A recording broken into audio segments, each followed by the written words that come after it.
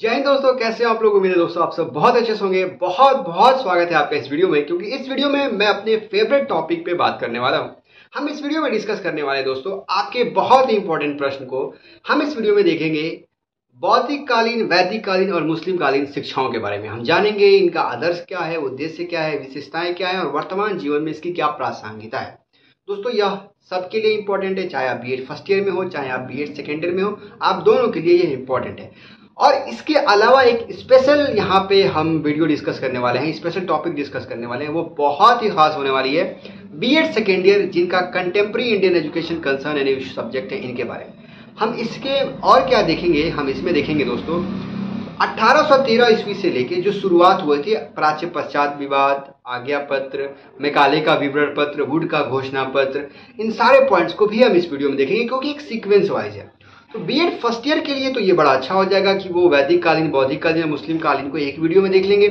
और BEd second year के लिए भी ये फ़ायदा हो जाएगा कि वो शुरू से दोस्तों, जो भी प्राचीन व्यवस्थाएँ थी शिक्षा की, वैदिक कालीन से लेके बौद्धिक कालीन तक, मुस्लिम कालीन तक, उसके बाद आज़ादी से पहले प्री इंडिपेंडेंट एरा में जो एजुकेशनल मूवमेंट हुए, जो एजुकेशनल चेंजेस हुए, जो नई नई शिक्षा नीति आई, वो भी समझ जाएँगे। इसीलिए ये मेरा फेवरेट टॉपिक है, मेरा फेवरेट पॉइंट्स है। मुझे बड़ा अच्छा लगता है जब भी हम इसको पढ़ते हैं या समझते हैं तो। मैं आशा करता हूँ आपको भी समझ आएगा और आपको भी बड़ा मज़ा आएगा। तो दोस्तों, दोनों के लिए, चाहे फ़र्स्ट ईयर हो, में सेकेंड ईयर में हो, दोनों के लिए बहुत ही खास होने वाली है ये वीडियो तो हम इस वीडियो को बिना किसी के देरी के शुरू करते हैं और सबसे पहले देखते हैं सबसे प्राचीन शिक्षा व्यवस्था वैदिक कालीन शिक्षा व्यवस्था को समझने की कोशिश करते हैं। तो आप सभी का स्वागत है इस वीडियो में।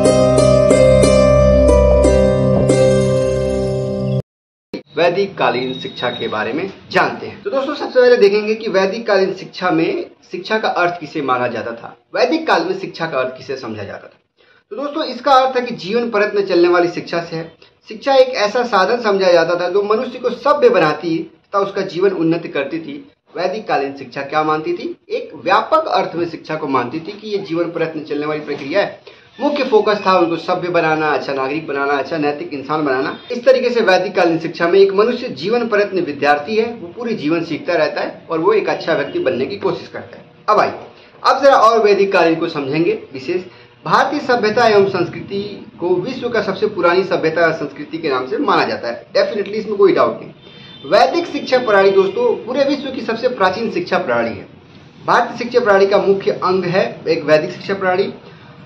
इस शिक्षा प्रणाली का, वैदिक शिक्षा प्रणाली का आधार क्या था दोस्तों? तो वेदों पर आधारित है तथा इन्हें भारतीय वेदों को विश्व भर में पुराने शास्त्रों के रूप में माना जाता है।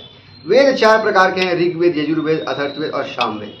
तो वैदिक कालीन शिक्षा का मुख्य आधार क्या था? वेद पे आधारित था, इसीलिए हम वैदिक कालीन या वेद, वेदों की शिक्षा कहते हैं। तो वेदों की शिक्षा वाली ये काल थी और इसका मुख्य आधार क्या था? वेद। वेद। चार, अवेद कितने हैं? चार वेद है दोस्तों।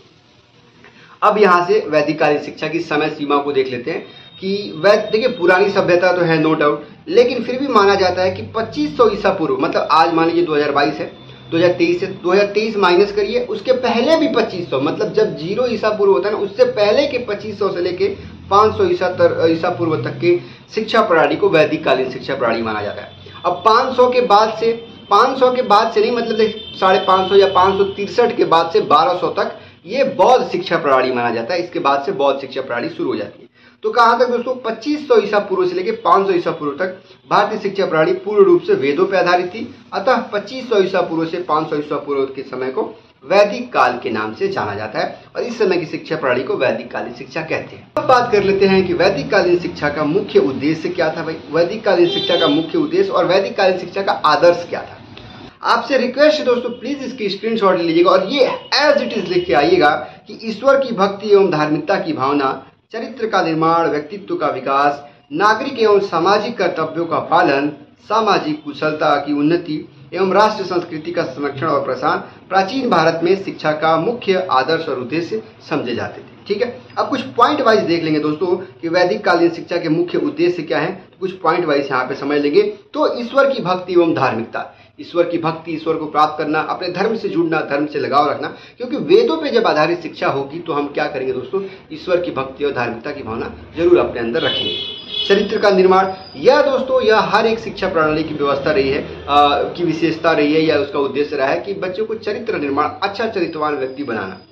व्यक्तित्व का विकास करना नागरिक तथा सामाजिक कर्तव्यों का पालन करने योग्य बनाना सामाजिक कुशलता का विकास करना और राष्ट्र संस्कृति का संरक्षण तथा प्रसार करना, ये सारे क्या है दोस्तों, उसी का पॉइंट वाइज यहाँ पे लिख दिया गया है। तो अगर आपको एक्सप्लेन करना है तो इसको हेडिंग डाल के आप एक्सप्लेन डेफिनेटली कर सकते हैं और करिएगा अगर लॉन्ग आंसर में पूछता है तो ओके अब यहाँ से वैदिक कालीन शिक्षा की कुछ विशेषताएँ और खास तौर पे कुछ पॉइंट वाइज पॉइंट यहाँ पे पूछ देता है। जैसे गुरुकुल प्रणाली की व्याख्या करिए, गुरुकुल प्रणाली पे प्रकाश डालिए, ये भी आपसे सवाल पूछ देता है। तो ये इसकी विशेषता है दोस्तों वैदिक कालीन शिक्षा की, कि उस समय की शिक्षा गुरुकुल प्रणाली में होती थी, गुरुकुल में शिक्षा दी जाती थी।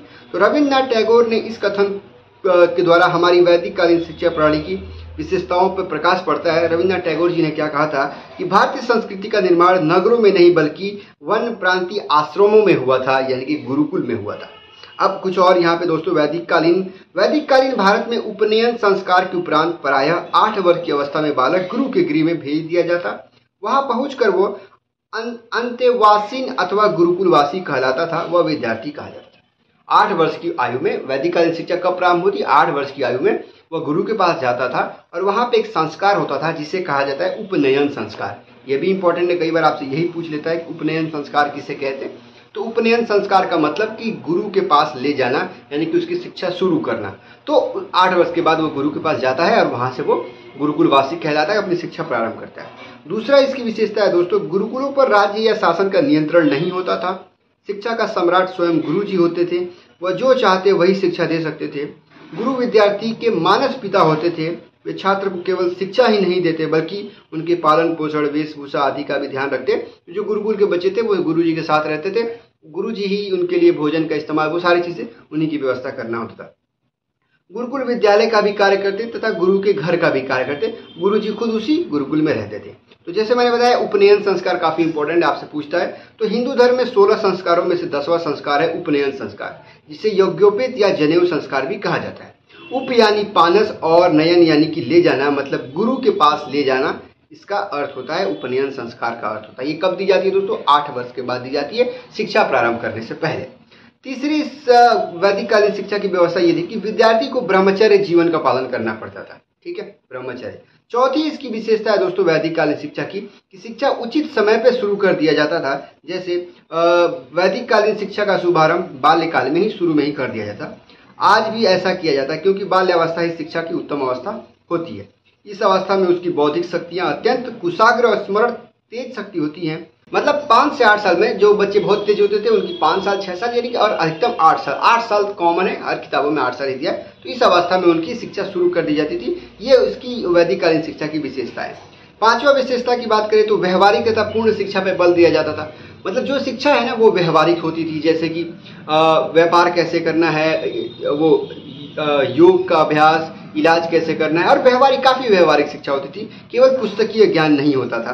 वैदिक कालीन शिक्षा केवल पुस्तकीय नहीं, अर्थात इस शिक्षा द्वारा बालक के केवल आध्यात्मिक विकास का ही नहीं किया जाता, बल्कि आध्यात्मिक जीवन के साथ साथ वर्तमान जीवन पर भी ध्यान दिया जाता था। व्यवहारिक होती थी मतलब बच्चा आगे चल के कुछ वेद बन सके, एक अच्छा डॉक्टर वैद बन सके, या फिर एक अच्छा गुरु बन सके अच्छा इंसान बन सके तो पूरा व्यवहारिक शिक्षा होता है तो ये हो गई दोस्तों इसकी विशेषताओं के बारे में। कुछ और विशेषताओं को देख लीजिए। जैसे गुरु शिष्य का संबंध पिता पुत्र जैसे था। चरित्र और व्यक्तित्व को विकास पे बल दिया जाता था। और भिक्षा वृत्ति थी, जो गुरुकुल के बच्चे थे, वो भिक्षा मांग के भी खाते थे। भिक्षा मांगने की उनको ट्रेनिंग दी जाती थी और ये उनसे मांग के वो भिक्षा ग्रहण करके वो जीवन यापन करते सार्वजनिक एवं निःशुल्क शिक्षा होती थी। गुरु जी कोई फ़ीस नहीं हाँ दक्षिणा ज़रूर गुरु जी जो मांग ले या जो समझ में आप दे सकते थे, कोई विशेष फ़ीस नहीं होता था। अब आइए। यहाँ पे दोस्तों, जैसे वैदिक कालीन जैसे जैसे आता गया, बाद के वैदिक कालीन में जिसे उत्तर वैदिक काल कहते हैं तो इस समय की शिक्षा व्यवस्था में कुछ कमियाँ देखी गई। इसी के बाद से दोस्तों बौद्ध कालीन का जन्म हुआ। तो वैदिक काल में, उत्तर वैदिक काल की शिक्षा प्रणाली में काफ़ी अंतर देखा गया। शुरू में कुछ और था और बाद में धीरे धीरे आते हुए कुछ अंतर हो गया। जैसे वैदिक काल पूर्ण रूप से ऋग्वेद पर आधारित था और उत्तर वैदिक काल सारे वेदों की शिक्षा प्रदान की गई। ठीक वैदिक काल में सभी को समान समझा जाता था और सभी को शिक्षा प्रदान की जाती थी। लेकिन उधर, उत्तर वैदिक काल आते आते दोस्तों, जैसे यहाँ पे शूद्र को शिक्षा से वंचित रखा गया और महिलाओं को शिक्षा भी उत्तर वैदिक काल में समाप्त कर दी गई। तो जैसे जैसे उत्तर वैदिक काल आता गया, बाद के वैदिक काल आते गए, कुछ कमियाँ उसमें नज़र आती गई।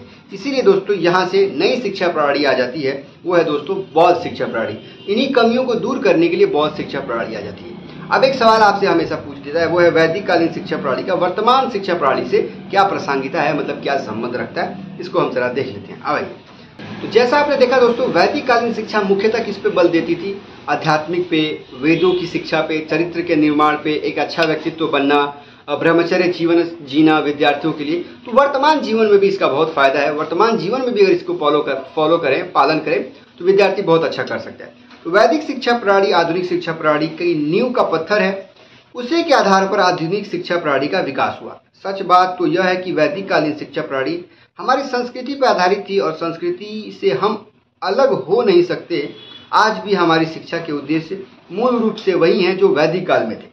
वैदिक काल की भांति हम आज भी समस्त ज्ञान, विज्ञान, कौशल और तकनीकों को शिक्षा की पाठचर्या में शामिल करते हैं और आज भी हम शिक्षक और शिक्षार्थियों के बीच मधुर संबंध स्थापित करना चाहते हैं और आधुनिक काल की शिक्षा प्रणाली में वैदिक शिक्षा प्रणाली में जो अंतर है, वह तो विकास के क्रम में होना स्वाभाविक है। जैसे जैसे विकास होगा, विकसित होगा, थोड़ा बहुत तो अंतर आएगा, लेकिन आज की जो शिक्षा प्रणाली है, हम मान सकते हैं कि इसका नींव जो है दोस्तों, वैदिक शिक्षा प्रणाली है। और वैदिक शिक्षा प्रणाली में जो हमें चरित्र का विकास, जो आध्यात्मिक का विकास, जो नैतिकता का विकास हमें बताया गया, अगर उसको आज के जीवन में फॉलो करें तो एक देश के लिए, विद्यार्थी के लिए, राष्ट्र के लिए बहुत ही अच्छा होगा, बहुत ही लाभकारी होगा। ठीक है? ये हुए दोस्तों कंप्लीट वैदिक कालीन शिक्षा के बारे में। एक और पॉइंट रह जाता है कि वैदिक कालीन शिक्षा के गुण और दोष तो अगर आता है तो आप अपने हिसाब से लिख लीजिएगा। वैसे कम बार पूछा गया, लेकिन हाँ पूछा जाता है इंपॉर्टेंट यही है। वैदिक कालीन शिक्षा के गुण तो गुण में जो इसकी विशेषताएँ हैं, वही लिख लीजिएगा। अगर दोष की बात करें तो दोष की बात में थोड़ा सा कठोर अनुशासन था। बच्चों को घर से दूर जाना होता था और उत्तर वैदिक काल में लास्ट में आते आते शूद्र और महिलाओं को शिक्षा पे कम अधिकार दिया गया तो ये उसकी कुछ कमियाँ आ गई। अब इसी कमियों को दूर करते हुए एक नई शिक्षा प्रणाली आती है, वो है दोस्तों बौद्धिक कालीन शिक्षा, यानी कि बौद्ध शिक्षा प्रणाली। तो हम आगे देखेंगे दोस्तों कि बौद्ध शिक्षा प्रणाली क्या है, इसके आदर्श उद्देश्य क्या है, इसकी विशेषताएँ क्या है और वर्तमान जीवन में इसकी प्रासंगिकता क्या है। ओके?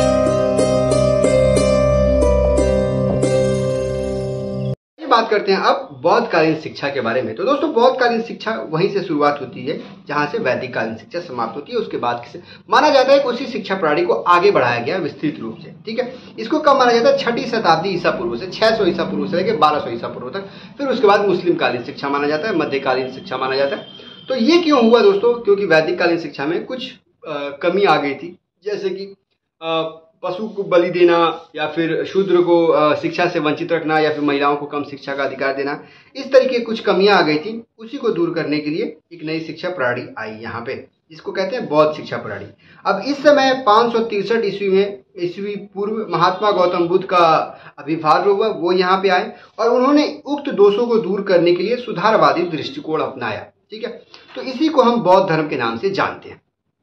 महात्मा बुद्ध ने जाति भेद को दूर करके सभी लोगों को अपने धर्म का प्रचार किया। मोक्ष प्राप्त करने के लिए उन्होंने यज्ञ आदि कर्मकांडों को दूर करके उनके स्थान पर ज्ञान प्राप्ति, अहिंसा, सदाचार तथा पवित्र जीवन को स्थान दिया। और ये बहुत सारी चीज़ें वैदिक काल में शामिल थी। बहुत सिमिलरिटी है वैदिक कालीन शिक्षा और बौद्धकालीन शिक्षा में। अपने धर्म का प्रचार करने के लिए साधन के रूप में उन्होंने जन साधारण की भाषा को अपनाया। और उसके परिणाम स्वरूप एक नई शिक्षा प्रणाली सामने आई। इसी को बौद्धकालीन शिक्षा प्रणाली कहते हैं। तो वैदिक कालीन शिक्षा के बाद से जो महावीर बुद्ध के, की जो उपासना थी, उनकी जो शिक्षा थी, उनके जो शिक्षा के आदर्श थे, वही बौद्ध वही बौद्ध शिक्षा के आदर्श और उद्देश्य माने जाते थे। अब आइए जरा देख लेते हैं कि उनके वास्तव में उद्देश्य क्या थे। उद्देश्य बहुत सिमिलर होगा वैदिक कालीन शिक्षा से। जैसे कि निर्वाण प्राप्ति में सहायता प्रदान करना मतलब ईश्वर की प्राप्त करना मतलब मन की शक्ति को प्राप्त करना, ईश्वर को प्राप्त करना। चरित्र का निर्माण करना, व्यक्तित्व का विकास करना, सामाजिक कुशलता में वृद्धि, राष्ट्रीय संस्कृति एवं संरक्षण, ये दोनों काफ़ी सिमिलर मैं बता दो रहा हूँ कि वैदिक कालीन शिक्षा और बौद्ध कालीन शिक्षा में काफ़ी ज़्यादा सिमिलरिटी थी, ओके? अब यहाँ पे हम देख लेते हैं कि वैदिक, बौद्ध कालीन शिक्षा में इसकी क्या विशेषताएँ हैं। तो जिस तरीके से आपने वैदिक कालीन शिक्षा की विशेषताएँ देखी, उसी तरह से आपको बौद्ध कालीन शिक्षा की विशेषताओं को समझना है। तो बौद्धकालीन शिक्षा की विशेषताओं को देखें तो बौद्धकालीन शिक्षालयों द्वारा शिक्षा प्राप्त के लिए सभी जातियों के लिए समान रूप से खुले रहते थे। इसमें कोई जाति वर्ग विशेष के लिए रोक नाम हाँ एक को मना था, अभी वो किसको मना था, इसमें बात करेंगे। विद्यार्थियों में ब्राह्मणों और क्षत्रियों के लड़कों को अधिक होते थे और राजा राजाओं से लेकर छुआरे तक बच्चों के साथ शिक्षा प्राप्त करते थे। हाँ केवल चंडालों के पुत्रों को शिक्षालय में प्रवेश का अधिकार नहीं था। अब इसमें शिक्षा में क्या हुई दोस्तों? इसमें सबके लिए समान शिक्षा दी गई। चाहे वो राजा का पुत्र हो या किसी और का पुत्र हो, सब एक साथ शिक्षा प्राप्त करेंगे, सभी जाति। लेकिन हाँ उस समय भी ब्राह्मण या फिर क्षत्रिय, उस समय के समाज के लोग में विद्यार्थियों की संख्या ज़्यादा थी, लेकिन इसका मतलब ये नहीं कि किसी के लिए मना था। यहाँ पे एक यहाँ पे कहा जाता है कि चंडालों को शिक्षालय में प्रवेश नहीं किया था। उस समय एक कोई वर्ग विशेष था जिसे हम उस समय के लोग नहीं पढ़ा देते, उसे वास्तव में अछूत कहते थे। तो उन्हें वो शिक्षा का अधिकार नहीं देते थे। बाकी सबको शिक्षा का अधिकार था। महिलाओं को भी शिक्षा का अधिकार था बौद्धकालीन शिक्षा। अब आइए। ऐसे विद्यार्थियों को विद्यालय में के मठों में प्रवेश नहीं होता था। कुछ ऐसे प्रतिबंधित विद्यार्थी थे जिन्हें हाँ विद्यालय के मठों और बिहारों में शिक्षा के लिए प्रवेश नहीं मिलता कौन कौन से? जो किसी राजा की नौकरी करता हो मतलब जो कहीं नौकरी करता हो।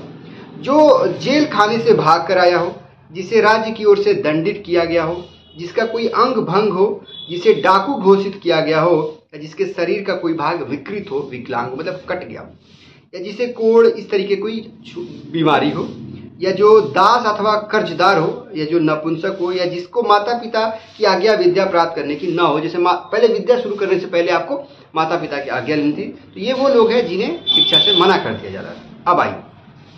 शिक्षा आरंभ करने की अवस्था की बात करें, आयु की बात करें तो वैदिक काल में आपने क्या देखा था? पाँच से आठ साल। और वैदिक कालीन शिक्षा में एक एक एक परंपरा होती थी जिसको उपनयन संस्कार कहते थे। उसी प्रकार से दोस्तों, इसमें भी एक शिक्षा शुरू करने से पहले एक संस्कार होता था, जिसे हम पबज्य संस्कार कहते हैं। बौद्ध काल शिक्षा प्रारंभ करने की आयु आठ वर्ष की समान है।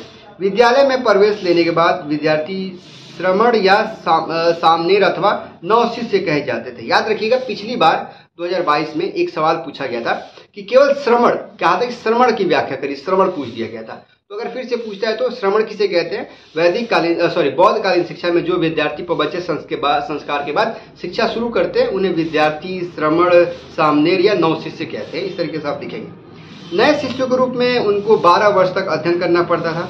जब वो 20 वर्ष की अवस्था हो जाती तो भिक्षु के रूप में वो प्रवेश करते थे, शिक्षा पाने के लिए हर विद्यार्थी को अपने माता पिता के।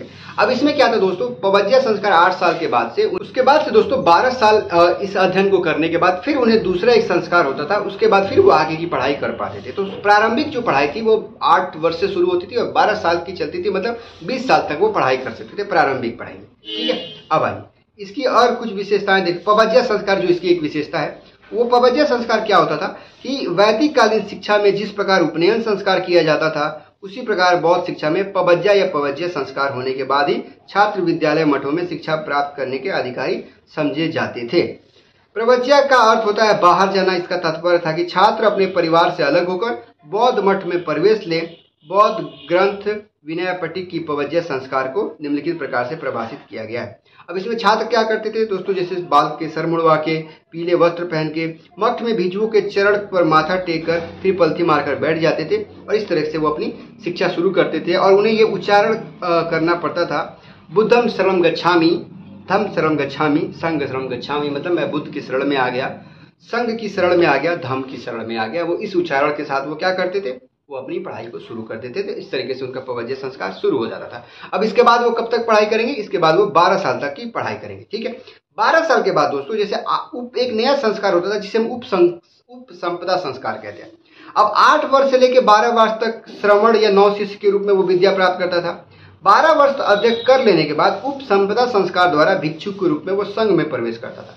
इसका मतलब क्या है दोस्तों? जैसे 20 साल अगर आप हो गए 12 साल की पढ़ाई कर ली आपने, फिर आप निश्चिंत आप जाके अपना दिनचर्या में लग सकते थे। लेकिन जैसे कुछ लोग गुरु होते हैं ना, जो बौद्ध गुरु बनते थे, फिर उनको आगे की पढ़ाई दी जाती थी, ठीक? तो अब यहाँ से जो पढ़ाई करेगा, वो बौद्ध गुरु बनेगा, वो मठ में रहेगा, संघ बनेगा, भिक्षु बनेगा, और वो दूसरों को शिक्षा देगा, ठीक है? तो एक उपसंपदा संस्कार होती थी, जब 12 साल की उनकी प्रारंभिक पढ़ाई पूर्ण हो जाए, उसके बाद। तो इस उप संपदा संस्कार के बाद भिक्षु शिक्षा का कार्यक्रम 20 वर्ष तक चलता रहता था। उपसंपदा संस्कार एक पक्षीय संस्कार नहीं यह सोलह भिक्षुओं के, सम, के सामने होता था। एक भिक्षु श्रमण का परिचय करता उसके बाद अन्य भिक्षु कुछ प्रश्न करते। उत्तरों के आधार पर ही यह निर्णय किया जाता कि नौ शिष्य उपसंपदा ग्रहण करने का अधिकारी हो सकता है अथवा नहीं। यह प्रणाली जनतांत्रिक प्रणाली कही जाती है। इस संस्कार के बाद श्रमण अब पूर्ण रूप से भिक्षु बनकर प्रवेश करने का अधिकारी हो जाता था। उपसंपदा संस्कार में सोलह विद्यार्थियों को एक साथ रख के एक उच्चारण करेगा, फिर कोई प्रश्न करेगा। इस तरीके से शास्त्रार्थ होता था। फिर जब इस निर्णय लिया जाता था कि ये बच्चा उप संपदा संस्कार के अधिकारी है कि नहीं, आगे इसकी पढ़ाई करनी है कि नहीं। उप संपदा संस्कार मतलब यूँ समझ लीजिए उच्च शिक्षा, जैसे प्राथमिक शिक्षा हो गई बारह फिर उसके बाद उच्च शिक्षा की बात होती। चलिए कुछ और देख लेते हैं दोस्तों इसकी विशेषताएँ। अध्ययन के समय की बात करें दोस्तों तो ये 22 वर्ष तक चलता था। 22 वर्ष तक मतलब शुरू के 12 साल, फिर उसके बाद उपसमुदाय से दस साल की वो। बारह साल पवजिया के बाद और दस वर्ष उप संपदा के बाद। अब यहाँ पे देखिए, आठ वर्ष से प्रारंभ होकर अगर बाईस साल तो तीस साल तक उनकी शिक्षा चलती थी, जिसको पूर्ण शिक्षा माना जाता है। ठीक है? अब इनकी कुछ और विशेषताएँ अगर हम देख लेते हैं, जैसे कि विद्यार्थी जीवन के कुछ नियम थे, जैसे स्नान का नियम। स्नान के नियम में ये था कि प्रतिदिन स्नान करना है और बहुत कालीन शिक्षा में, स्नान में जैसे कि आपको कोई दूसरा स्नान नहीं करा सकता, आपको स्वयं स्नान करना है। और नहाते समय, जैसे कि अगर आपको किसी वस्तु से या किसी और से अपना बॉडी ऐसे शरीर नहीं मिला सकते थे, वो खुद से करना होता था। भोजन के कुछ नियम थे, शाकाहारी भोजन करना है, शुद्ध भोजन करना है, कम भोजन करना है, जो भिक्षा में मिले वही भोजन करना है। वस्त्र धारण के नियम थे कि आपको सादा वस्त्र पहनना है, जो भिक्षा में आपको गहने नहीं पहनने हैं, ज्वेलरी नहीं पहनना है महँगी वस्तुओं का भिक्षा नहीं लेना है। भिक्षा भी एक क्या थी? ये इनकी एक विशेषताएँ थी, ये एक विद्यार्थी जीवन की एक नियम था, ठीक है? अब आइए बौद्धिककालीन शिक्षा के अगर कुछ गुण पूछता है या फिर ये पूछता है कि इसके कुछ गुण बता दीजिए तो वो आप इस तरीके से लिख सकते हैं। फिर उसके बाद हम इस वीडियो को समाप्त नहीं करेंगे। अभी तो बहुत पढ़ना है, अभी तो बहुत पढ़ना है। तो फिर यहाँ पे एक टॉपिक आपका क्लियर हो। बौद्धकालीन शिक्षा में कुछ गुण पाए जाते हैं, जैसे कि ये प्रत्येक व्यक्तियों के लिए शिक्षा थी, इसमें कोई डाउट नहीं, सिवाय चंडालों को छोड़ के। ये महिलाओं के लिए भी शिक्षा दिया गया, इसकी गुण है। किसी जाति, वर्ग, विशेष के शिक्षक व्यक्ति शिक्षक हो सकता था। अच्छा इसमें एक और चीज़ है। शिक्षक कोई भी हो सकता था। कोई जाति वर्ग विशेष इसमें नहीं थी, कोई भी शिक्षक इसमें हो सकता था। वह सदा आदरणीय होता था, ठीक है? असामाजिक एवं आपराधिक कार्य करने वालों को शिक्षा पाने का अधिकार नहीं था। इससे क्या होगा इससे समाज में एक अच्छा संदेश जाएगा, ठीक है? पवज्या होने के बाद नव भिक्षु आध्यात्मिक गुरु का चयन करते थे। उसके निर्देश में वो पूर्ण शिक्षा प्राप्त करते थे। सिद्ध व्यवहारिक ब्रह्मचार्य का सर्वाधिक बल दिया जाता था, जिसके गुरु अनेक सेवा कार्य करने पड़ते।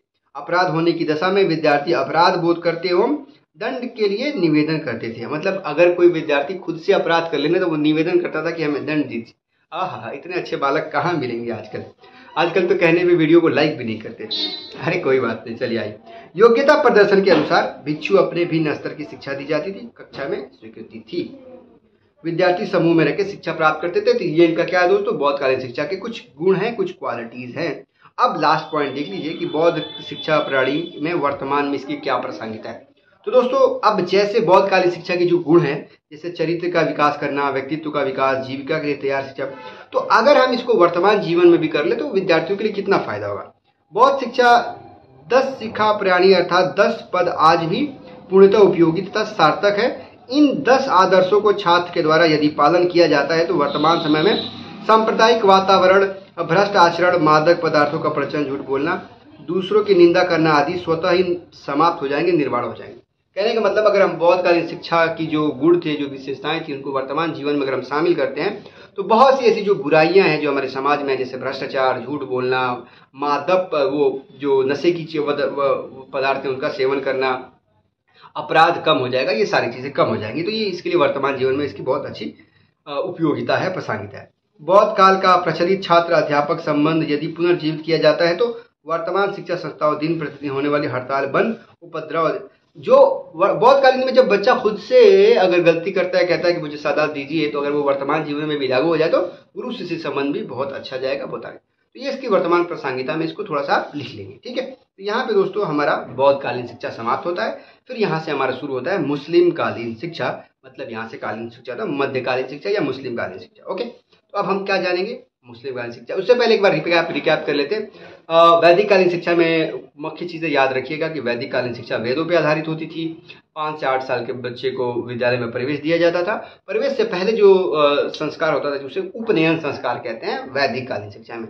इसके गुण वही समान रहेंगे, चरित्र का निर्माण, नैतिकता का निर्माण, व्यवहारिक शिक्षा राष्ट्रीय शिक्षा का संरक्षण प्रसार, ये सारे इसके गुण हो गए। ठीक है जैसे जैसे उत्तर वैदिक काल आता गया, इसमें दोष आते गए जैसे कि बलि देना, शूद्रों को शिक्षा से मुक्त रखना, महिलाओं को शिक्षा पे कम अधिकार देना तो इसी कमियों को दूर करते हुए महाबुद्ध महाबुद्ध, महावीर बुद्ध जी ने एक नई शिक्षा प्रणाली की शुरुआत करी, जिसे हम बौद्ध शिक्षा कहते हैं। बौद्ध शिक्षा की अवधि की बात करें तो पीछे 600 वर्ष ईसा पूर्व से लेके माना जाता है 1200 ईसा पूर्व बारह सौ बारह ईस्वी तक।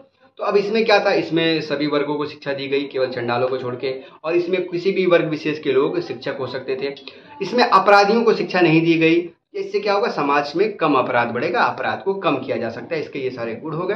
ठीक है, इसमें जो शिक्षा शुरू करने से पहले एक जो संस्कार होता था, जिसे पवज्य संस्कार कहते हैं, जो कि आठ साल के वर्ष तक होता था और फिर बारह साल के बाद एक नई जो संस्कार होती थी, उसे हम उपसंपदा संस्कार कहते थे। तो इस तरीके से सवाल पूछा जाता है आपसे, ठीक? बोधकालीन शिक्षा में जब बच्चा उस प्रज्ञा संस्कार के बाद शिक्षा शुरू करता था, उसे श्रवण कहते थे या नौशिष्य कहते थे। ठीक है, कोई डाउट कोई आप लिख लेंगे टेंशन मत लीजिए। आराम से जब पेपर आएगा, देखिए ना कितना मस्त कलम चलेगा, कितना अच्छा लिखेंगे। फ़िलहाल come to the point and that is what मुस्लिम कालीन शिक्षा यानी कि मुस्लिम कालीन शिक्षा को जानेंगे। मुस्लिम कालीन शिक्षा 1200 से 1700 ईस्वी के काल को मुस्लिम काल कहा जाता है। मुस्लिम काल में भी विद्या का आदर करते थे। विद्वान का आदर करते थे, विद्या का प्रसार करना अपना धार्मिक कर्तव्य समझते थे। मुस्लिम शिक्षा का रूप निजी था राज्य सरकार के नियंत्रण में नहीं था। मस्जिदों में मौलवी द्वारा शिक्षा प्रदान की जाती थी पर आसपास धनी मुसलमान स्थान देकर, सहायता देकर, जैसे मुस्लिम कालीन शिक्षा में बस यूँ समझ लीजिए कि बारह सौ सत्तर साल तक के अब इसमें क्या था? इसमें जो धनी व्यक्ति थे, वो किसी ने ज़मीन दे दिया, किसी ने पैसा दे दिया, इस तरीके से आपने मस्जिद बना ली, मदरसा बना लिया और वहाँ पर अपनी शिक्षा शुरू कर दी। मुस्लिम कालीन शिक्षा में जो दो प्रमुख प्रचलित थे शिक्षा केंद्र, उसे हम मकतब या मदरसा कहते हैं। ठीक है, मकतब का मतलब क्या होता है दोस्तों? मकतब का मतलब जैसे बेसिक शुरू की शिक्षा। मदरसा मतलब उसके बाद की शिक्षा। देख लेंगे। शिक्षा संस्थाओं में देख लेते हैं। मुस्लिम काल की शिक्षा व्यवस्था में दो प्रमुख अभिकरण एजेंसी है, मकतब और मदरसा। मकतबों में प्रारंभिक शिक्षा दी जाती थी और मदरसों में उच्च शिक्षा दी जाती थी। मौलवी साहब द्वारा बिस्मिल्ला रस्म के साथ बालक को मकतब में शिक्षा के लिए प्रवेश किया जाता था। वैदिक कालीन में कौन सा रस्म था प्रवेश के लिए? प्रवेश के लिए उपनयन रस्म था। बौद्ध काल में प्रवेश के लिए कौन सा रस्म था? बौद्ध काल में पवज्या संस्कार मुस्लिम कालीन में इसको बिस्मिल्ला रस्म कहते हैं। चलिए। मकतब मस्जिदों से जुड़े होते थे और मस्जिद के मौलवी साहब ही मकतब के शिक्षण का कार्य करते थे। मकतब में बालक को शब्द ज्ञान तथा धार्मिक प्रार्थना सिखाई जाती थी। मकतब की शिक्षा पूरी करते साथ मदरसे में प्रवेश लेते, मदरसों में विभिन्न विषयों में के विद्वान शिक्षक नियमित रूप से शिक्षण का कार्य करते थे। मकतब के बाद मदरसे में आ जाएँगे और ये जो बिस्मिल्ला रस्म है दोस्तों बिस्मिल्ला रस्म अक्सर पॉइंट से आपसे पूछ लेता है तो बिस्मिल्ला रस्म के बारे में लिख दीजिएगा। इस बिस्मिल्ला रस्म को समझ लीजिए, इसमें क्या होता था, जैसे कि वैदिक कालीन में उपनयन संस्कार, वैसे ही बौद्ध काल में पवज्य संस्कार, ठीक उसी प्रकार से मुस्लिम कालीन में शिक्षा शुरू करने से पहले जो संस्कार दी जाती थी, जो रस्म अदा किया जाता था, उसे हम बिस्मिल्ला रस्म कहते हैं। बिस्मिल्ला रस्म बच्चे की पढ़ाई कब शुरू होती? चार साल, चार महीना, चार दिन के बालक के हो जाने के बाद उसे मौलवी साहब के पास लेके जाया जाता था। मोस्टली मौलवी साहब उसे कुछ कुरान की आयतें पढ़ाते थे। अगर वो बच्चा आयत नहीं पढ़ पाता है, उसे बस बिस्मिल्लाह कहना ही काफ़ी था और वो उस बिस्मिल्लाह कहने के बाद वो शिक्षा शुरू कर देता था और इसी पूरे रस्म को बिस्मिल्लाह रस्म कहते हैं। ठीक है? तो चलिए, अब इसको कुछ और विशेषताएँ देख लेते हैं। अच्छा एक सवाल यहाँ पे आज पूछा जाता है। जैसे हम कहते हैं इल्म और तालीम। ठीक है? इल्म और तालीम, कई बार सवाल पूछा है। तो ये जो पेज है ना, वो मुझे टेलीग्राम पे जो आप लोग के दोस्त हैं, साथी हैं, वो है प्रगति यादव। उन्होंने ये पेज एज इट इज़ भेजा था, मुझे बड़ा अच्छा लगा। तो मैंने कहा एज इट इज़ लिख देते हैं और उनको क्रेडिट दे देते हैं, जो जिन्होंने लिखा, उनको क्रेडिट यहाँ पे दे देते हैं। ओके तो इल्म और तालीम का मतलब इल्म का मतलब ज्ञान से है और तालीम का मतलब शिक्षा से है। ठीक है? तो इल्म और तालीम अरबी भाषा के शब्द हैं। इन दोनों का अर्थ है ज्ञान, उपदेश, शिक्षा तथा योग्यता। जैसे ज्ञान और उपदेश शिक्षा और योग्यता, इसको माना इल्म और तालीम में वही संबंध है जो विद्या और शिक्षा में है। इल्म वो है जो इस्लाम धर्म के पवित्र ग्रंथ कुरान शरीफ से, कुरान शरीफ में मनुष्य को मोक्ष प्राप्त करने के लिए और सदाचरण के लिए कम कर्म के रूप में सन्निहित है। तालीम वह है जिसके द्वारा प्राप्त करने के बाद मनुष्य लौकिक जीवन में सफलतापूर्वक जीवन निर्वाह की योग्यता प्राप्त करता है। तो तालीम क्या है? तालीम शिक्षा है, जिसके बाद हमारा क्या होता है दोस्तों? अलौकिक जीवन की मतलब जो हमारा उद्देश्य है वो प्राप्त करते हैं। इल्म क्या है? ज्ञान है जिससे हम जीते। ये दोस्तों कहने की पूरी बात है, ओके? यहाँ तक बात समझ में आ गई। अब मुस्लिम कालीन की अगर हम शिक्षण पद्धति की बात करें तो मुस्लिम कालीन में कौन से मेथड से शिक्षा दी जाती थी? तो मुख्यतः मौखिक होती थी, ठीक है? स्मरण करने पे, रटने पे ज़्यादा बल दिया जाता था। व्याख्यान विधि प्रश्नोत्तर विधि, वाद विवाद विधि का प्रयोग किया जाता था। छात्रों को स्वाध्याय विधि से ज्ञान प्राप्त करने के लिए प्रोत्साहित किया जाता था। छात्रों की उपस्थिति में बड़ी छात्रों और कुछ योग्य छात्रों की छोटी कक्षा में इसमें क्या होता था? जैसे जो बड़े छात्र हैं, अगर वो योग्य हैं, कुशल है तो उनको छोटे छात्रों को पढ़ाने के लिए। जैसे जो हाफिजी लोग हैं, हाफिज वास्तव में खुद एक विद्यार्थी होते, वो हिफ्स कर रहे होते, वो याद कर रहे होते। लेकिन उन्हीं को क्या करते थे? छोटे बच्चों को जिन्हें कायदा पढ़ना है, जिन्हें मकतब में पढ़ना है तो उनको वहाँ के लिए गुरु बना दिया जाता। तो ये उसकी शिक्षा व्यवस्था थी, ये उसकी शिक्षण पद्धति थी। स्त्री शिक्षा के बारे में बात करें तो ये एक ड्रॉबैक रहा है, थोड़ी सी कमी रही है मुसलमानों में, इस्लामिक शिक्षा की बात करें, क्योंकि पर्दा प्रथा होती थी तो मुस्लिम काल में स्त्री शिक्षा को थोड़ी उपेक्षित थी। मुस्लिम काल में महिलाओं को पर्दा, प्रथा का प्रचलन होने के कारण स्त्री शिक्षा का विकास बहुत कम था। कम आयु की लड़कियाँ मकतब में जाकर प्रारंभिक शिक्षा ग्रहण करती थी, लेकिन उच्च शिक्षा घर पर ही ग्रहण करने की व्यवस्था थी। इसलिए उच्च शिक्षा केवल सही तथा धनी परिवारों तक ही सीमित थी। जो ऊँचे होते हैं? उन्हीं तक सीमित। तो यहाँ के एक ड्रॉबैक यहाँ पे रहा है। मुस्लिमकालीन शिक्षा में सैनिक शिक्षा भी रखा गया क्योंकि उन्हें युद्ध लड़ना था शासकों का था तो उनको रक्षा करना, इन सारी चीज़ों के लिए युद्ध सैनिक शिक्षा का भी बल दिया गया, ठीक है? तो ये सारी दोस्तों विशेषताएँ थी। कुछ और विशेषताएँ आप देख सकते हैं। इसमें मुस्लिमकालीन शिक्षा में छात्रवृत्ति की शुरू की गई। छात्रवृत्ति दिया गया मुस्लिमकालीन शिक्षा में। और निःशुल्क शिक्षा तो होती थी पैसे कहाँ से आते थे? पैसे लोग जो भी पैसे अमीर लोग होते थे, वो जक़ात निकालते थे। तो उसी जक़ात के रस्म से शिक्षा का पूरा कार्य होता था। तो ये दोस्तों कंप्लीट हो गया मुस्लिम कालीन शिक्षा के बारे में। समझ में आ गया? मोटा मोटी बात है, मुस्लिम मिला रस्म क्या होता है, इल्म और तालीम क्या होता है, कब पढ़ाई शुरू होती है, ठीक है? और निःशुल्क शिक्षा होती है, बस ये थोड़ी सी बात हो गई। इनके उद्देश्य वही होंगे, नैतिक जीवन, चरित्र का विकास अच्छा आचरण। धर्म का प्रसार तो सभी शिक्षा कालीन शिक्षाओं में हुआ। वैदिक कालीन, बौद्धिक कालीन या मुस्लिम कालीन, धर्म का प्रचार श्रेष्ठ माना गया हर एक काल। ठीक है? तो ये हो गई कंप्लीट इन तीनों शिक्षाओं के बारे में। अब इसके बाद से जो नेक्स्ट यूनिट स्टार्ट होगा, जिसे हम प्राच्य प्रसाद आगे की शुरुआत करें तो अब यहाँ पे एक चीज़ नोटिस करिए। अब तक जो आपने पढ़ा है, तीनों कालीन शिक्षाओं, वो चाहे आप बी फ़र्स्ट ईयर में हो या चाहे सेकेंड ईयर में हो ये सबके लिए कॉमन है। ये सबको पढ़ना था। बी फ़र्स्ट ईयर को भी पढ़ना था और सेकेंड ईयर को भी पढ़ना था। अब यहाँ से जो है दोस्तों, वो केवल बी सेकेंड ईयर को पढ़ना है। और ये यहाँ से दूसरा यूनिट स्टार्ट होता है। और ये काफ़ी इंपॉर्टेंट है। अच्छा अब तक जो आपने मुस्लिम कालीन वैदिक कालीन और बौद्धिक कालीन पढ़ा, इसको बस समझने की ज़रूरत है दोस्तों। इससे अक्सर याद रखिएगा, इससे कम से कम आपको पंद्रह से बीस नंबर का सवाल आपको देखने को मिल जाएगा, ठीक? तो आप ज़रूर अपने शब्दों में समझिए पॉइंट्स को लिखिए और उसको एक्सप्लेन करने की कोशिश करिए। एज इट इज़ याद करने की ज़रूरत है। और जो मोटा मोटी जो चीज़ें हैं, जो संस्कार हैं, जो अवधि है, जो समय सीमा है, जो उनकी विशेषताएँ हैं, उसको बस ध्यान में रखने की बात है। तो यहाँ तक बी फ़र्स्ट ईयर और सेकेंड ईयर दोनों के लोग थे लेकिन फ़र्स्ट ईयर का साथ यहीं तक। अब यहाँ से सेकेंड ईयर की हम शुरू करेंगे। सेकेंड ईयर वाले लोग बने रहें और फ़र्स्ट ईयर वालों को भी इच्छा है कि वो जाने शिक्षा व्यवस्था को तो बने रह सकते हैं। बाकी जाना चाहते हैं तो जा सकते हैं। तो यहाँ तक बात हो गई केवल फ़र्स्ट ईयर और सेकेंड ईयर दोनों की। अब हम शुरू करते हैं आपके सेकेंड ईयर की स्टार्ट करते हैं। ठीक है? तो सेकेंड ईयर का सेकेंड यूनिट जो है दोस्तों, इसमें हमें education in pre independent era को देखना है। मतलब आज़ादी से पहले शिक्षा व्यवस्था थी, जब अंग्रेज़ रहते थे तो उसमें कुछ शिक्षा के कार्यक्रम हुए उससे पढ़ना है। इसमें एक मोस्ट इंपॉर्टेंट पॉइंट आता है, प्राच्य पश्चात विवाद और आज्ञा पत्र, मैकाले का विवरण पत्र वुड का घोषणा पत्र, इन पाँच पॉइंटों को हम देखेंगे, ठीक? तो प्राच्य पश्चात विवाद से शुरू करते हैं, ठीक है? चलिए आइए, शुरू कर लेते हैं। तो आइए दोस्तों, फिर समझने की कोशिश करते हैं कि प्राच्य पश्चात विवाद क्या था और आगे इसको समझने की कोशिश करते तो देखिए, प्राच्य पश्चात विवाद कब शुरू हुआ? 1813 ईस्वी में शुरू हुआ। वास्तव में 1813 ईस्वी में क्या हुआ?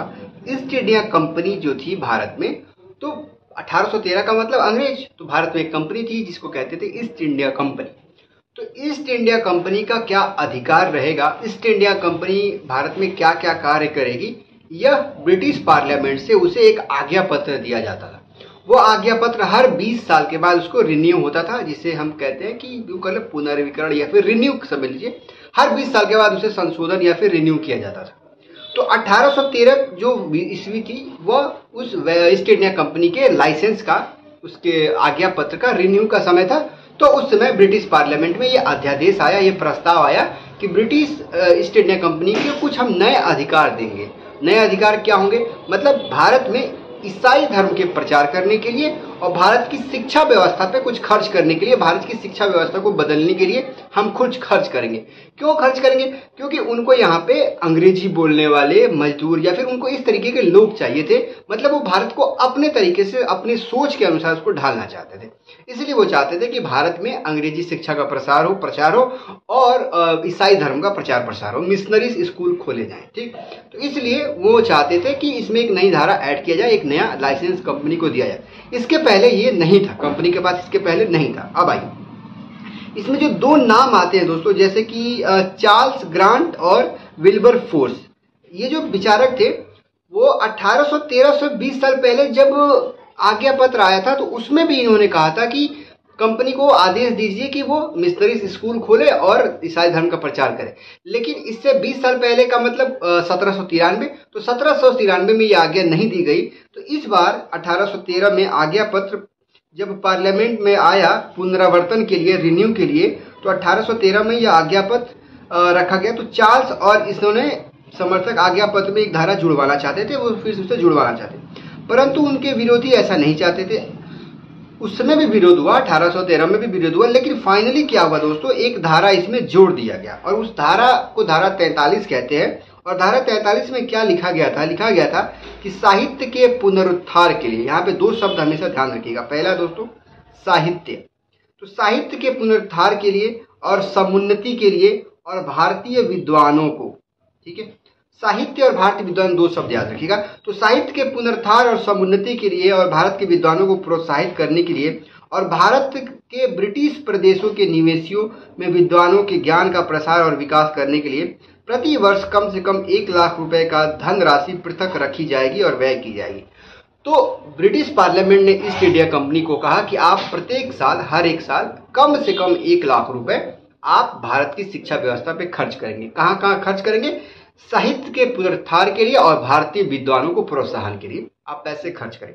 अब यहीं से वो विवाद शुरू हो गया, जिस विवाद को हम प्राच्य पश्चात विवाद कहते हैं। 1813 की आज्ञा की धारा 43 में भारतीय की शिक्षा का दायित्व कंपनी को सौंप दिया गया, तथा यह आदेश दिया गया कि भारतीय शिक्षा पर प्रतिवर्ष एक लाख रुपए की धनराशि व्यय की जाएगी। परंतु उक्त धारा में यह स्पष्ट नहीं था कि धनराशि किस तरह की शिक्षा पर व्यय की जाएगी। प्राच्य शिक्षा अथवा पश्चात शिक्षा पर। मतलब प्राच्य शिक्षा, प्राच्य, देखिए पश्चात का मतलब होता है वेस्टर्न। भारतीय शिक्षा पे, हिंदी पे फारसी पे अरबिक पे, संस्कृत पे, भारतीय शिक्षा पे खर्च की जाएगी कि अंग्रेज़ी शिक्षा पे खर्च की जाएगी, इसकी उसमें व्याख्या नहीं थी। तो यहीं से एक नया विवाद हो गया, प्राच्य विवाद, प्राच्य पश्चात विवाद। जो प्राच्यवादी थे, वो मानते थे कि जो ये एक लाख रुपए कम से कम खर्च करने की जो बात है, वो भारतीय की अगर विकास की बात की जाए तो भारत की भाषाओं पे खर्च होनी चाहिए, जबकि पश्चातवादी सोचते थे नहीं। या एक लाख रुपए खर्च करने का मतलब ये था कि भारत में अंग्रेज़ी शिक्षा को बढ़ावा देना, ठीक? तो यहीं से वो विवाद हो गया। फलस्वरूप इस प्रश्न को लेकर कंपनी के कर्मचारियों में विवाद उत्पन्न हो गया। इस विवाद को ही प्राच्य पश्चात विवाद की संज्ञा दी जाती है। विवाद में भाग लेने वाले दो प्रमुख दल प्राच्यवादी और पश्चातवादी थे। अब प्राच्यवादी में कौन थे दोस्तों? जो ईस्ट इंडिया कंपनी के अनुभवी, जो कंपनी के पुराने और अनुभवी कर्मचारी थे, वो प्राच्यवादी में आते थे, ठीक है? जिसमें प्रमुख Warren Hastings John Ethan Duncan और कलकत्ता मद्रास और बनारस विद्वान की इन्होंने स्थापना करी थी। तो ये प्रा, प्राच्यवादियों के पक्ष में ये थे ठीक है? इन सदस्यों की समिति में, में मंत्री एच एन विल्सन तथा बंगाल के शिक्षा से उल्लेखनीय है। ये लोग क्या थे दोस्तों? प्राच्य पश्चात प्राच्यवादी थे मतलब इंडियन भारतीय शिक्षा को प्रमोट करते थे। इनकी मांग क्या थी दोस्तों? प्राच्यवादी के दल का आरोप था कि अंग्रेज़ी भाषा और पश्चात ज्ञान की शिक्षा राजनीतिक उद्देश्य से प्रेरित है। उनका कहना था कि अंग्रेज़ी पढ़ाकर क्लर्क उत्पन्न होंगे जो अंग्रेज़ी शासन का समर्थन करेंगे और कम खर्च पर प्रशासन के कार्य करेंगे। जो प्राच्यवादी थे, उनको लगता था कि ये अंग्रेज़ी पे इसलिए पैसा खर्च करना चाहते थे क्योंकि इनको नौकर चाहिए, इनको बाबू वर्ग चाहिए। जब इनको नौकर मिल जाएँगे, बाबू वर्ग मिल जाएँगे तो अपने यहाँ गुलामी कराएँगे, नौकरी कराएँगे। इसीलिए ये इसका विरोध करते थे। इनका मानना था कि नहीं, हिंदी की सांस्कृतिक सभ्यता पर खर्च की जाए। जबकि पश्चातवादी जो थे, पश्चातवादी क्या सोचते थे, वो इस दल में जो नए नए थे ना, वो नया खून, गर्म खून वाले, वो लोग थे। वो वो ये मानते थे कि उनका मानना था कि जो भारत की अपनी जो, उनका यह विचार था कि जो प्राच्य शिक्षा प्रणाली है, वो मरणासन पे मतलब खत्म हो चुकी है। ठीक है? इसे पुनर्जीवित नहीं किया जा सकता। इसके साथ ही साथ उन्होंने यह भी कहा कि अरबी, फारसी और संस्कृत के साहित्यों को पुरातन और निर्थक बता बता, बातों के अलावा किसी तरह का उपयोगी ज्ञान नहीं किया जा सकता। उन्होंने कहा था कि ये जो तीन भाषाएँ बताई, जैसे अरबी, फारसी, संस्कृत, इन्हें बताया कि ये दोस्तों क्या निरार्थक है, इसका कोई मतलब नहीं है। और उन पश्चात्यवादी ये भी कहते थे कि भारत की मानसिक विकास के लिए अंग्रेज़ी माध्यम और पश्चात ज्ञान और विज्ञान से अवगत कराना अत्यंत आवश्यक है। उनका मानना था कि अगर भारतीयों को विकास करना है तो उन्हें अंग्रेज़ी की शिक्षा दीजिए, विज्ञान की शिक्षा दीजिए, ज्ञान की शिक्षा दीजिए। उनका ये मानना था। अच्छा अगर कहीं आपको ये लग रहा होगा कि ये तो बात अच्छी बात है, अच्छी बात है कि वो हमें अंग्रेज़ी सिखाना चाहते थे, अच्छी बात है कि वो हमें ज्ञान और विज्ञान सिखाना चाहते थे तो आप एक चीज़ जानेंगे, अभी बहुत सारे ऐसे देश है जहाँ पे अंग्रेज़ी बैन है। चाइना एक इसका प्रमुख उदाहरण यहाँ पे इंग्लिश बिल्कुल बैन है, आप इंग्लिश में बात नहीं कर सकते, नहीं पढ़ाया जाता इंग्लिश। क्योंकि चाइना ये मानती है, जब हम किसी दूसरे की भाषा सीखते हैं तो हम उसकी मानसिकता को सीखते हैं। अब जैसे आप अंग्रेज़ी सीखे, अंग्रेज़ी सीखने बाद आपने इंग्लिश मूवीज़ देखना शुरू किया इंग्लिश उनकी जो साइट्स हैं वो यूज़ करना शुरू किया इंग्लिश बुक्स पढ़ तो धीरे धीरे उनकी सोच, उनकी समझ उनको अपने अपनाना शुरू कर दिया। तो इससे हमें, उनकी थॉट से हम प्रभावित होने लगते हैं। इसीलिए वो दोस्तों चाइना इंग्लिश को बैन कर रखा है। आई थिंक रशिया भी शायद कुछ करने वाला है। एग्जैक्ट नहीं कोट कर सकते, मगर चाइना में ये बैन है। अब अंग्रेज़ जो थे, भारत में अगर वो ये शिक्षा देना चाहते थे तो वो क्यों देना चाहते थे? यहाँ पे एक और चीज़ बहुत आवश्यक है, उसको जान लीजिए। वो इसलिए नहीं कि अंग्रेज़ी को प्रचार प्रसार करना है, वो इसलिए कि भारत में वो नौकर वर्ग, बाबू वर्ग की स्थापना कर सके, जो वो अंग्रेज़, ब्रिटिश यूके में बैठ के आपको यहाँ पे कमांड दे सके और आपसे यहाँ पे नौकरी करा सके। इसलिए उनको नौकर चाहिए ठीक? अब ये विवाद बढ़ता गया बढ़ता गया, चलता गया, हल नहीं हुआ। 1813 ईस्वी में शुरू हुआ था 1835 ईस्वी तक ये विवाद सॉल्व नहीं हुआ था, हल नहीं हुआ था। तो यहाँ से एक एंट्री होती है मैकाले की, मैकाले, फिर यहाँ से एंट्री होती है मैकाले की। तो अब यहाँ तक प्राच्य पश्चात विवाद था अब मैकाले के बारे में समझेंगे। मैकाले का विवरण पत्र भी काफ़ी इंपॉर्टेंट है तो आइए जरा समझते हैं कि मैकाले इसके लिए क्यों आए, मैकाले ने इसको क्या किया। मैकाले की एंट्री कब होती है? मैकाले की एंट्री होती है 1835 ईस्वी में। अठारह तेरह का विवाद था 1835 तक हल नहीं हुआ तो यहाँ पे आए मेवाले मैकाले। अब मैकाले कौन थे भैया? देखिए 10 जून अठारह सौ चौवन को लॉर्ड मैकाले ने गवर्नर जनरल की काउंसिलिंग में कानूनी सदस्य के रूप में पदार्पण किया, कानूनी सदस्य के रूप में प्रवेश किया। उस समय तक प्राच्य पश्चात विवाद उग्रतम सीमा पर पहुँच चुका था। बैटिंग को विश्वास था। बैटिंग कौन थे भाई? गवर्नर जनरल, उस समय के Lord Bentinck, Lord William Bentinck, ठीक है? उस समय के गवर्नर जनरल। वो ये मानते थे कि मकाले जो एक प्रेसिडेंट विद्वान है और एक अच्छा वक्ता भी है, एक अच्छे वकील भी है, लॉयर है तो वह इस विवाद को समाप्त कर सकते हैं। इस विचार से उन्होंने बंगाल की लोक शिक्षा समिति के सभापति के रूप में उनको नियुक्त कर दिया। जैसे शिक्षा मंत्री होते हैं ना तो उस समय लोक शिक्षा समिति के रूप में इनको नियुक्त कर दिया। फिर उसने मैकाले को 1813 की तैतालीसवीं धारा में जो विवाद हुआ था, एक लाख एक लाख रुपए खर्च करने का, उसको सुलझाने का अनुरोध किया और कहा कि आप अपना सुझाव दीजिए, मशवरा दीजिए कि इसको कैसे हल करेंगे। तो लॉर्ड मेकाले जो था, उसने सर्वप्रथम क्या किया? दोनों धाराओं को अच्छे से पढ़ा, दोनों दलों से बात करी। उसके बाद उसने दोस्तों, तर्कपूर्ण और बलवती भाषा में अपने, तर्कपूर्ण मतलब एक लॉजिकल रीजन में उन्होंने लॉर्ड विलियम बैटिंग के पास अठारह ईस्वी में अपना एक पत्र दे दिया, जिसे हम बैटिंग ये मेकाले का विवरण पत्र कहते हैं। पूरा अध्ययन करने के बाद उन्होंने 1835 में क्या किया? उन्होंने एक पत्र दे दिया, जिसे हम मेकाले का विवरण पत्र कहते हैं। अब यहाँ पे ध्यान से सुनिएगा, विवरण पत्र में उन्होंने कहा क्या था। आपको क्या लगता है कि विवरण पत्र में मेकाले ने किसका समर्थन किया होगा? प्राच्यवादी अंग्रेज़ी सॉरी हिंदी संस्कृत फारसी का अरबी का या फिर अंग्रेज़ी का? अगर आप सोच रहे हैं कि अंग्रेज़ी का तो बिल्कुल सही सोच रहे हैं मैकाले ने ही अंग्रेज़ी शिक्षा का आ, का पक्ष लिया। और मैकाले को भारत में अंग्रेज़ी शिक्षा का जनक कहा जाता है। अगर आप सर्च करेंगे या कहीं भी पढ़ेंगे who is the father of English education in India आप पाएँगे मैकाले। तो मैकाले ने क्या किया? दोस्तों एक अपनी आज्ञा विवरण पत्र दे दिया बैटिंग के पास और उसमें उसने लिखा जो एक लाख की धनराशि व्यय करने के लिए सरकार पे कोई प्रतिबंध नहीं है, वो इस धनराशि को अपनी इच्छा अनुसार व्यय कर सकती है। मतलब जो इच्छा होगी सरकार की या जो इच्छा होगी कंपनी की, वही उसके अनुसार वो खर्च कर सकती है। अब यहाँ पे साहित्य शब्द के अंतर्गत केवल अरबी और संस्कृत साहित्य नहीं आती, अपितु अंग्रेज़ी साहित्य को भी सम्मिलित किया जा सकता है। मेघालय ने कह दिया कि साहित्य का मतलब ये नहीं कि आप केवल अरबी और संस्कृत पे खर्च करेंगे नहीं, आपको अंग्रेज़ी पे भी खर्च करना पड़ेगा। और भारतीय विद्वानों में उन्होंने कहा कि केवल मुसलमान मौलवी या संस्कृत के पंडित के अलावा अंग्रेज़ी भाषा के साहित्य विद्वान भी हो सकते हैं। उन्होंने कहा कि भारतीय विद्वान का मतलब ये नहीं कि केवल अंग्रेज़ी और संस्कृत के मौलवी या पंडित जी, इनको नहीं। वो अंग्रेज़ी के विद्वान भी उन्होंने माना। तो अब यहाँ से विवाद को उन्होंने अंग्रेज़ी के पक्ष में जोड़ते हुए यूँ समझ लीजिए प्राच्यवादियों की वहाँ पे हार हो गई पश्चातवादियों की जीत हो गई। ठीक है? तो अच्छा ऐसा करने से पहले उसने एक लॉजिक भी दिया, अपने तर्क दिया। तो अंग्रेज़ी के पक्ष में मेघालय का तर्क क्या था, इसको देखिए। उसने कहा था कि अरबी और संस्कृत की तुलना में अंग्रेज़ी अधिक उपयोगी और व्यवहारिक है, क्योंकि ये नहीं नवीन ज्ञान की कुंजी। उसने दूसरा तर्क दिया था कि लैटिन और यूनानी भाषाओं से इंग्लैंड और पश्चिमी यूरोप की भाषाओं के रूप में पता होगा। जैसे उन्होंने माना था कि जो यूनानी इन भाषाओं में अंग्रेज़ी देने के बाद उनका ज़्यादा फ़ायदा हुआ तो इसीलिए भारत में भी अंग्रेज़ी देने के बाद ज़्यादा फ़ायदा हुआ।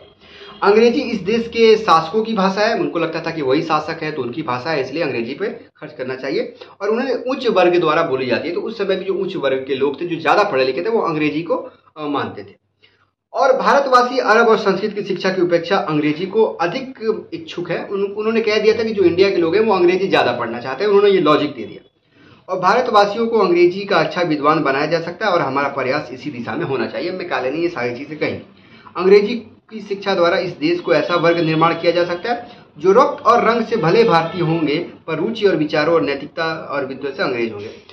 मेकाले का ये जो कोट था ना, उसको ध्यान में रखेगा मेकाले ने कहा था कि हम अंग्रेज़ी शिक्षा से ऐसे लोगों को यहाँ पे पैदा कर सकते हैं, ऐसे लोगों की बना, जो भाई, वो है तो इंडियन वो रक्त और रंग रूप से तो वो भारत होंगे, लेकिन सोच से, विचार से और नैतिकता से क्या होंगे दोस्तों? वो यहाँ पे अंग्रेज़ होंगे, बिल्कुल अंग्रेज़ होंगे। तो इस तर्क के साथ उन्होंने कह दिया कि इस एक लाख रुपए को ज़्यादा से ज़्यादा अंग्रेज़ी पे खर्च कीजिए। ठीक है? अब मैकाले के इस विवरण पत्र से कुछ प्रभाव पड़े। एक तत्कालीन प्रभाव ये पड़ा कि पहले की कंपनी के सभी सुझावों के आधार पर शिक्षा नीति की घोषणा कर दी गई। ठीक है? तो यहाँ पे प्रभाव क्या पड़ा? एक दोस्तों, तत्कालीन प्रभाव ये पड़ा कि नए नए मिशनरी स्कूल खोलने लगे नए नए अंग्रेज़ी स्कूल खोलने लगे, विश्वविद्यालय का गठन होने लगा, इंग्लिश का प्रचार प्रसार होने लगा। ठीक है? दूसरा ये हुआ कि ये विवाद समाप्त हुआ, विवाद समाप्त होने की कोशिश की। ठीक, अब इस आधार पे क्या हुआ दोस्तों? इस आधार पे जो विलियम बैटिंग थे, उन्होंने घोषणा पत्र बता दिया कि ठीक है इस आधार पे आप पैसे को एक लाख रुपए को खर्च करिए ओके। एक चीज़ और यहाँ पे ध्यान रखिए, लॉर्ड मेघालय के बारे में ना भारत में भी अलग अलग विचार है, दो विचार है। भारतीय शिक्षा के इतिहास में, भारतीय शिक्षा के इतिहास में दोस्तों, मेकाले के स्थान के संबंध में विद्वानों के दो मत है। प्रथम मत मैकाले भारत को दस्ता की जंजीर में जकड़ने के लिए उत्तरदायी है। मतलब लोग मानते हैं कि जो मैकाले हैं, उन्होंने दस मतलब गुलामी की जंजीर में जकड़ दिया। जबकि दूसरा ये मानते हैं कि मैकाले की जो शिक्षा नीति थी, वो एक पथ प्रदर्शक है, तथा उसी के कारण भारतीय शिक्षा प्रणाली आज विश्व की प्रणाली की तरफ़ आगे बढ़ पाया। तो लोगों को अलग अलग मत है। कुछ मानते हैं कि इन्होंने हमारी हिंदी शिक्षा को खराब कर दी, अंग्रेज़ी हमें थोप दिया, हमारी अपनी साहित्य सभ्यता, हमारी जो वैदिक जो हमारी शिक्षा व्यवस्था थी, गुरुकुल व्यवस्था तो उसको समाप्त कर दिया। लोगों का ये मानना है। और कुछ लोगों का ये मानना है कि मैकाले ने ही हमें अंग्रेज़ी शिक्षा से जोड़ा और देश दुनिया की तरफ़ आगे बढ़ा। तो ये अलग अलग मत हो सकते हैं, ठीक है? हमें क्या करना है? हमें एग्ज़ाम में लिखना है और समझना है। अब विवाद का अंत क्या हुआ? 1835 में अगर मेकाले ने दे दिया तो क्या 1835 में विवाद का अंत हो गया? विवाद का अंत नहीं हुआ। विवाद का अंत कब हुआ? अठारह में हुआ। कैसे हुआ? जब बैटिंग की विज्ञप्ति यदि सरकार शिक्षा नीति सुनिश्चित दिशा प्रदान की, परंतु प्राच्य पश्चात विवाद का अंत नहीं हो पाया। बैटिंग जो उस समय के गवर्नर जनरल थे, उन्होंने बता दिया कि ठीक है भैया, एक लाख रुपए का अंग्रेज़ी पे खर्च करो और फिर तेरह दिन के बाद वो क्या हो गए, चले गए यहाँ से। फिर दूसरे गवर्नर जनरल आ गए, जिसको लॉर्ड ऑकलैंड कहा जाता है। ये नए गवर्नर जल के पद को ग्रहण किया। अब उस समय पश्चात विवाद का अत्यंत गंभीर रूप हो गया, ठीक है? फिर जो थे 35 के बाद, चार साल तक जो ऑकलैंड थे, इसका फिर से इसका अध्ययन किया, बात करी लोगों से विचार विमर्श किया और एक निष्कर्ष निकाला। निष्कर्ष ये था दोस्तों कि विवाद का मुख्य कारण क्या है? विवाद का मुख्य कारण ये है कि प्राच्यवादियों को कम पैसा मिला है, ठीक है? तो ऑकलैंड की यह मान्यता थी कि अगर हम प्राच्यवादियों को कुछ और धन व्यय कर दे दे दें तो शायद ये अपना आंदोलन स्थगित कर देंगे। इसी आधार पर उसने 24 नवंबर अठारह सौ उनतालीस को अपना विवरण प्रकाशित किया, मैं ऑकलैंड ने। और विवरण पत्र में क्या लिखा, आप देखिएगा, फिर उसके बाद यह विवाद अंत हो जाता है, फिर शायद हमारी वीडियो भी अंत हो जाएगी। तो विवाद का अंत कैसे किया? उन्होंने विवरण पत्र में कहा कि देसी विद्यालयों को पहले की भांति चलने दिया जाना चाहिए। उसको उतना ही आर्थिक सहायता दिया जाए जितना कि अब तक दी जाती है। उन्होंने कहा कि जो देसी विद्यालय हैं, जो संस्कृत और हिंदी की जो विद्यालय हैं, वो जैसे हैं, वैसे चलेंगी, उस पर कोई नुकसान नहीं करेगा। उसको जितनी सहायता दी जाती है, उसको उतनी सहायता दी जाएगी।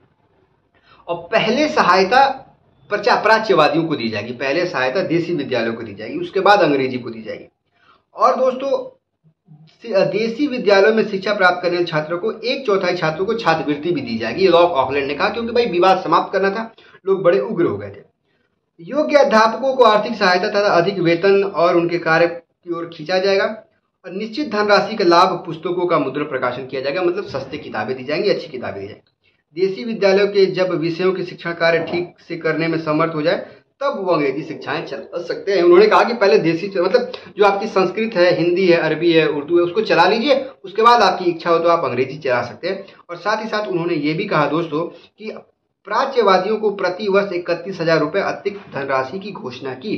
मतलब जो आपको पैसे मिलते हैं वो तो मिलेंगे ही मिलेंगे, उसके अलावा आपको इकतीस हज़ार रुपये और मिलेंगे। उसकी इस घोषणा से प्राच्यवादी प्रसन्न हो गए। फलस्वरूप लंबे समय से चला आ रहा यह विवाद समाप्त हो गया और डॉक्टर एल एन मुखर्जी ने लिखा कि लॉक ऑकलैंड को इस बात का अभिमान था कि इसने इकतीस हज़ार रुपये प्रति वर्ष की मामूली रकम अधिक व्यय करके इस उत्तेजित विवाद का अंत कर दिया।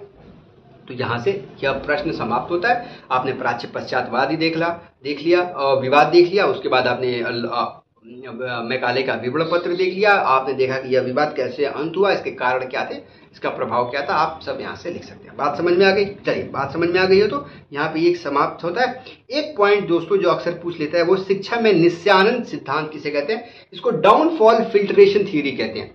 मैं अभी एक यूनिवर्सिटी एग्ज़ाम्स का एम का एंट्रेंस एग्ज़ाम्स का पेपर देख रहा था। तो उसमें ये पूछा गया था दोस्तों कि शिक्षा का निस्यानंद सिद्धांत, यानी कि फिल्ट्रेशन थ्योरी किसने दिया था? तो फिल्ट्रेशन थ्योरी मैकाले ने दिया था।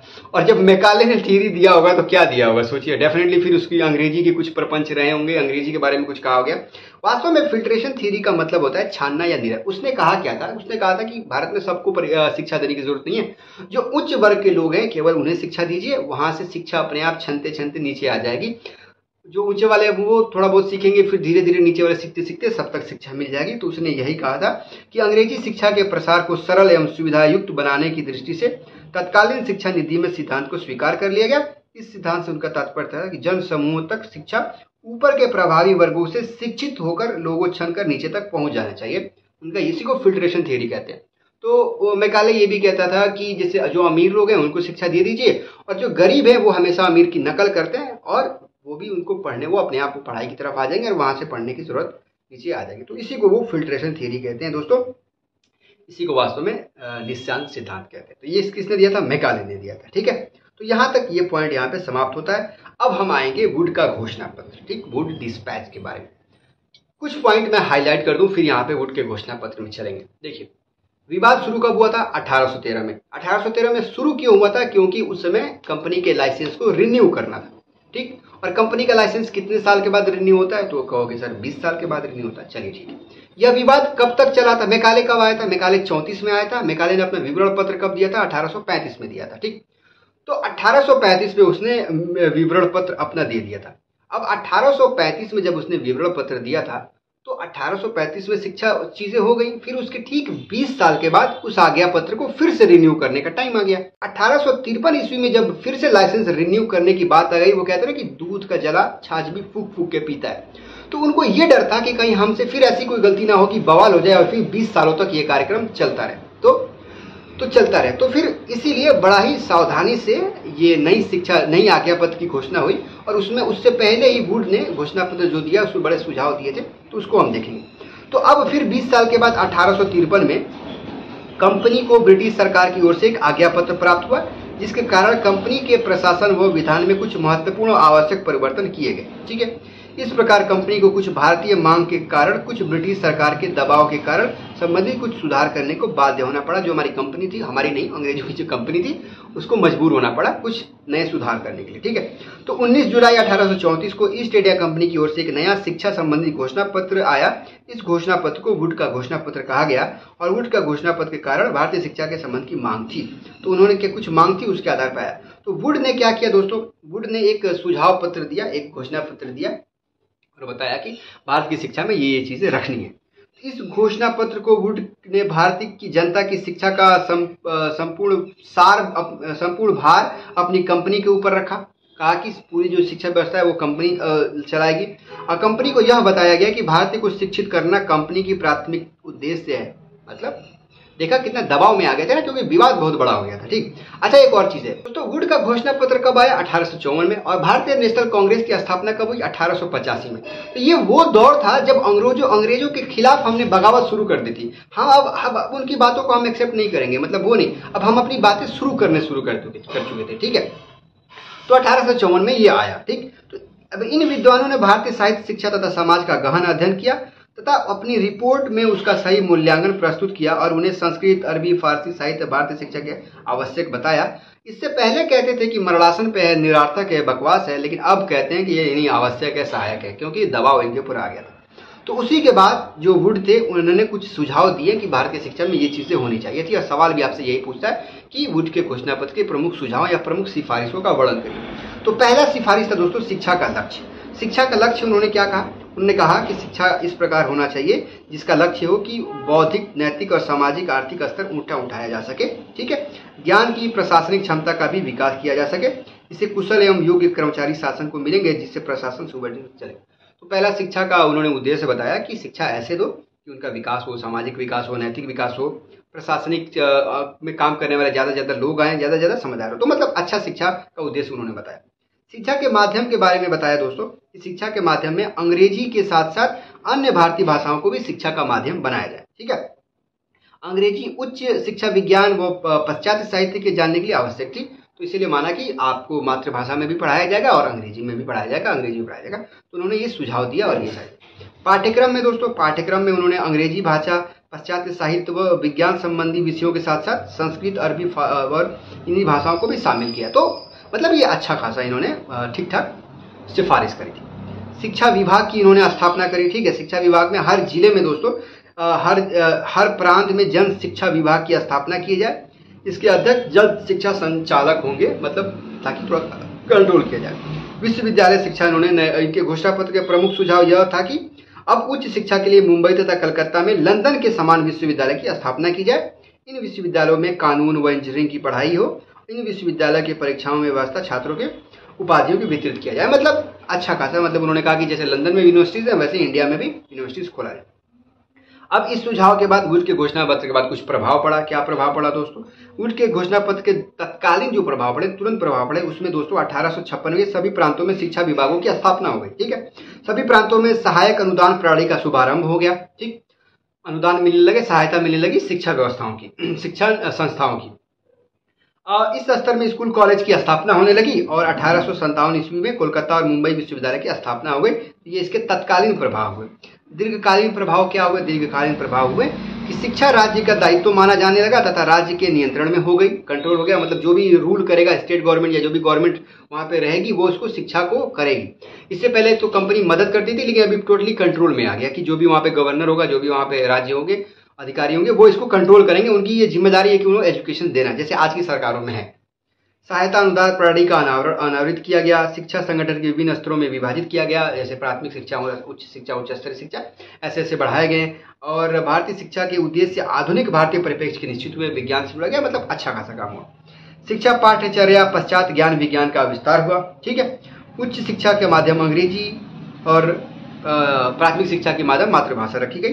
क्रमबद्ध विश्वविद्यालयों का निरंतर हुआ मतलब क्रमबद्ध विद्यालय एक से पाँच तक, पाँच से आठ तक, आठ से दस दस से ऐसे विद्यालय बनी और जन शिक्षा, स्त्री शिक्षा, व्यावसायिक शिक्षा और अध्यापक शिक्षा में प्रगति हुई, ये सारी चीज़ें यहाँ पे सुधार हुई, ठीक है? बात समझ में आ गई?